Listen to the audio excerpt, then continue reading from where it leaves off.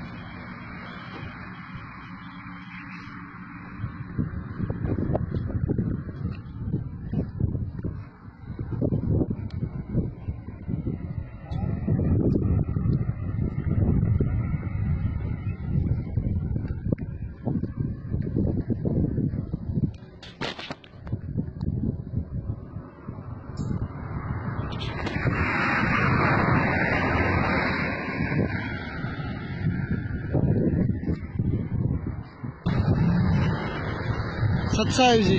अच्छा है ये जो गाड़ी की कंडीशन दिख रही है इसको देखने से तो ऐसा लग रहा है कि शायद ही कोई बचा होगा।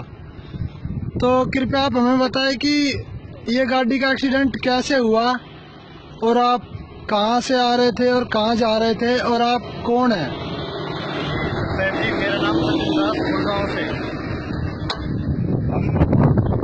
शुक्रवार को हिसार मिलाई से गुरु महाराज की मिलाई से वापस आ रहे थे। तो करीब दोपहर दो बजे ये गाड़ी, जो आप देख रहे हैं, बिल्कुल डैमेज हो रखी है। तीन गाड़ियों से टकराई। और पाँच छह पलटी खाने के बाद सामने उधर देखिए खाई है उससे थोड़ा आगे वहाँ पर खाई में जाके गिर गई थी। अच्छा जहाँ पे वो ट्रैक्टर आ रहा है? जी हाँ जहाँ पर ट्रैक्टर आया उसके लेफ़्ट साइड में।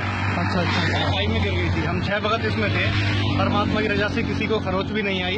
अच्छा। छह के छह भगत सेफ़ है। गाड़ी आप देख सकते से बस भी छोड़ सकते हो रामपाल जी महाराज की दया से हमें कुछ भी नहीं हुआ। आप आप कहाँ पे बैठे थे गाड़ी में? मैं ड्राइव कर रहा था गाड़ी।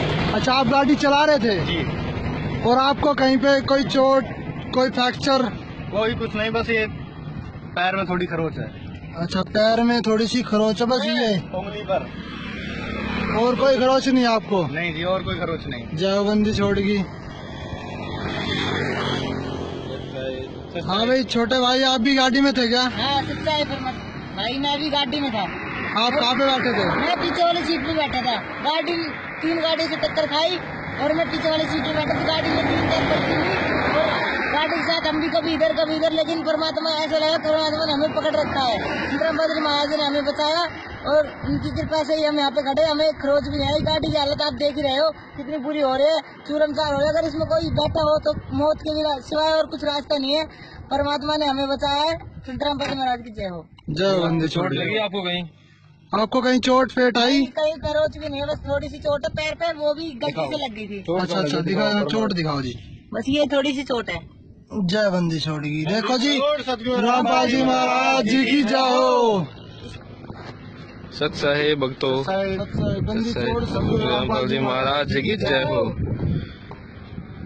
भगत जी ये कैसे क्या वारदात हुई? कृपा करके सभी को बताएँ। हाँ जी हम पूर्ण परमात्मा बंदी छोड़ रामपाल जी महाराज के शिष्य हैं। हाँ जी। हम अपने गुरुदेव जी की मिलाई पे गए थे हिसार हाँ जी। शुक्रवार की यह घटना है। हाँ जी। उस दिन हम ये वीडियो या फ़ोटो इसलिए नहीं ले पाए क्योंकि उस टाइम हमारे फ़ोन वगैरह सब स्विच ऑफ़ थे। और पता नहीं बारिश आंधी भी आ गई थी परसों की बात है। बारिश और आंधी भी आ गई थी। आंधी और बारिश बहुत स्पीड से आ रही थी। हाँ जी। तो उस टाइम हम ये वीडियो ले नहीं पाए। आज आए हैं गाड़ी को लेने। हम्म, तो आज ये वीडियो ले रहे हैं। हाँ जी। इस गाड़ी में मैं भी था बीच में बैठा था। हम्म, मैं आँख बंद के परमात्मा का सुमरण कर रहे थे। हम्म, एकदम से अचानक से झटका लगा। यानी गाड़ी में टक्कर लगी हम्म, और मेरी आँख खुल गई। हम्म, जैसे मेरी आँख खुली मैंने देखा गाड़ी अंदर से तीन चार बार पलटी खा गई। हम्म, कभी इस साइड कभी इस साइड। पहले तो गाड़ी ऐसे उठी ऐसे उठ के ऐसे पड़ी फिर ऐसे पड़ी फिर। घुसड़ के और फिर सीधी खाई में। मतलब देखिए नज़ारा। ऐसा दृश्य था कि कोई बचना तो मुमकिन ही नहीं था। हाँ जी। जितने भी गाँव वाले आए थे सारे रहे थे भाई कितने मरे। यो गाड़ी का हालात बता रहे हैं बिल्कुल। हाँ जी असीम कृपा से किसी को कोई परेशानी नहीं आई हम्म, ना किसी को चोट लगी देखो दिखाता हूँ ये। खरोच आइए जी ये खरोच परमात्मा कहते हैं सतगुरु शरण आए के आई चले बड़ा बच्चे मस्तक में सूरी हो वह काटे में कड़ जा। और हमारा तो भाई काटा ना दिया भगवान ने।